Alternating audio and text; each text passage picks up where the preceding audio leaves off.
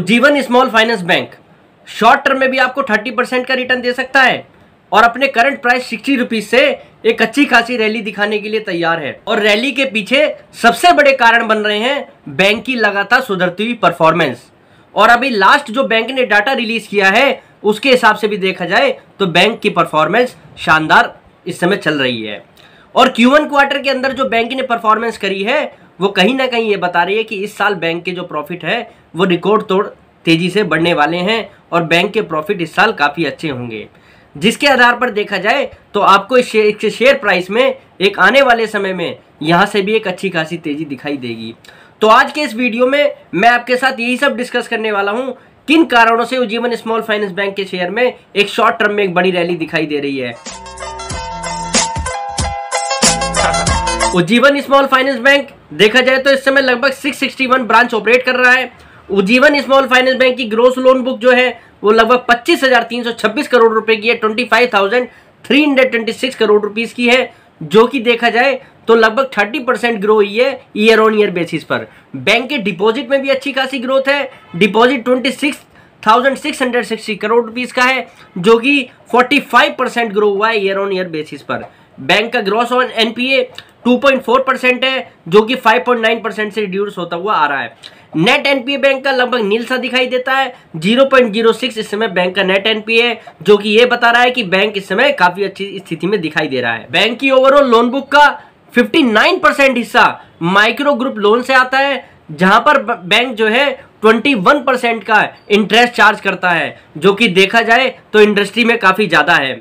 Bank का individual segment से 14 percent का लोन बुक है एमएसएमई सेगमेंट से बैंक को सिक्स परसेंट का लोन बुक है, और हाउसिंग एफोर्डेबल हाउसिंग स्पेशली आप ये शब्द याद रखिएगा एफोर्डेबल हाउसिंग तो बैंक इस पर चौदह परसेंट के करीब की लोन बुक का हिस्सा बना रहा है। और बैंक का अगर देखा जाए तो ओवरऑल जो बैंक की लोन बुक है, वो लगभग 19.1 परसेंट का बैंक को इंटरेस्ट बनाकर दे रही है। जो कि अगर अदर बैंकों के कंपैरिजन में देखा जाए तो काफ़ी बड़ा इंटरेस्ट रेट बैंक को यहाँ पर मिल रहा है अदर बैंक के कंपैरिजन में। बैंक का कॉस्ट ऑफ़ फंड लगभग 7.2 परसेंट का है। बैंक का नेट इंटरेस्ट मार्जिन लगभग 9 परसेंट के ऊपर है। 9.2 परसेंट का समय बैंक का नेट इंटरेस्ट मार्जिन है।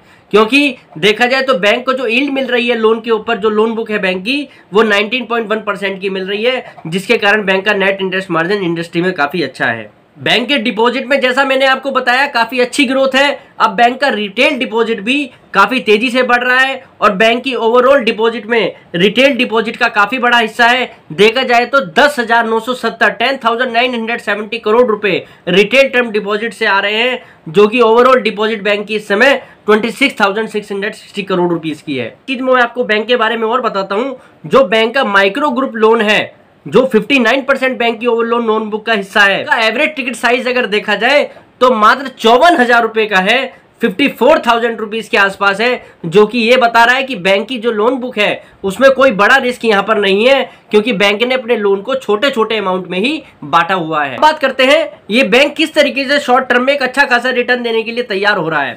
दरअसल देखा जाए तो बैंक की अगर टोटल इनकम Q1 क्वार्टर के अंदर देखी जाए इस फाइनेंशियल ईयर के, लगभग 1464 करोड़ रुपीस की रही। चौदह सौ चौसठ करोड़ रुपए की बैंक की टोटल इनकम रही। उस पर बैंक का अगर हम नेट प्रॉफिट देखें तो 324 करोड़ रुपीस का बैंक का नॉट नेट प्रॉफिट रहा। अगर हम फाइनेंशियल ईयर 2024 की बात करें, इस फाइनेंशियल ईयर की बात करें तो बैंक की टोटल इनकम जिस हिसाब से बैंक के अंदर ग्रोथ चल रही है इस हिसाब से बैंक की टोटल इनकम लगभग 6,500 करोड़ रुपीस के आसपास आती हुई दिखाई दे रही है। और अगर हम सेम मार्जिन के हिसाब से बात करें तो बैंक का नेट प्रॉफिट लगभग यहाँ से 1495 करोड़ रुपीस के आसपास जाने की उम्मीद है। इस कंडीशन में अगर देखा जाए तो बैंक का इस फाइनेंशियल ईयर के अंदर ईपीएस लगभग सेवन रुपीज़ के आसपास का हो सकता है जिसके कारण इस बैंक की रिटर्न ऑन इक्विटी यहाँ पर 27 परसेंट के आसपास की दिखाई दे रही है जो कि काफ़ी अच्छी है इंडस्ट्री में। अब आप देखिए जिस तरीके से बैंक ने एफ़ वाई के अंदर परफॉर्मेंस करी। और उस समय जो बैंक की बुक वैल्यू लगभग ट्वेंटी रुपीज़ फिफ्टी पैसे की थी एफ़ वाई ट्वेंटी थ्री के अंदर। और बैंक की रिटर्न ऑन इक्विटी भी लगभग अट्ठाईस परसेंट के आसपास की रही। इस बैंक ने हायर साइड पर सिक्सटी रुपीज़ का प्राइस दिखाया है। तो देखा जाए तो बैंक को लगभग थ्री का मल्टीपल मिला है एफ़ आई ट्वेंटी थ्री की बुक वैल्यू के आधार पर। अगर हम इसी गणित को लगाकर देखें तो फाइनेंशियल ईयर 2024 के लिए, इस फाइनेंशियल ईयर के लिए, जब बैंक का ईपीएस सात रुपए के आसपास का होगा, उस कंडीशन में बैंक की बुक वैल्यू लगभग ट्वेंटी सिक्स रुपीज़ के आसपास की दिखाई दे रही है। और अगर आप ट्वेंटी सिक्स रुपीज़ को थ्री से मल्टीप्लाई करें तो बैंक का target price seventy eight rupees का निकल कर आता है। तो इस प्राइस के हिसाब से भी बैंक आपको थर्टी परसेंट का रिटर्न दे सकता है इस फाइनेंशियल ईयर के अंदर ही। लोअर साइड की भी बात करें तो बैंक अपनी प्राइस टू बुक के लगभग दो के मल्टीपल पे टू के मल्टीपल पे आपको मिल सकता है। उस कंडीशन में अगर देखा जाए तो twenty six into two fifty two rupees के आसपास बैंक के शेयर प्राइस पे एक सपोर्ट नज़र आता है। तो फिफ्टी टू रुपीज़ के आसपास अगर आपको बैंक के शेयर प्राइस दिखाई दे तो यहाँ पर ये बाइंग जोन के आसपास होगा। और साथ ही साथ टारगेट देखा जाए तो लगभग बैंक सेवेंटी एट रुपीज़ का आपको टारगेट दिखाई दे सकता है। इवन स्मॉल फाइनेंस बैंक के शेयर में ये स्ट्रेटेजी आपको एक अच्छा खासा मुनाफा बनवा सकती है, क्योंकि इस स्ट्रेटेजी में टेक्निकल एनालिसिस ना होके देखा जाए तो बैंक का फंडामेंटली एनालिसिस है, जो बैंक जिस हिसाब से परफॉर्मेंस दे रहा है, जिस हिसाब से बैंक की एसेट क्वालिटी है, वो कहीं ना कहीं बैंक को यहाँ पर तेज़ी दे रहे हैं चलने के लिए। उम्मीद करता हूँ आज का ये वीडियो आपको जीवन स्मॉल फाइनेंस में प्रॉफिट बनाने में काफ़ी मदद करेगा।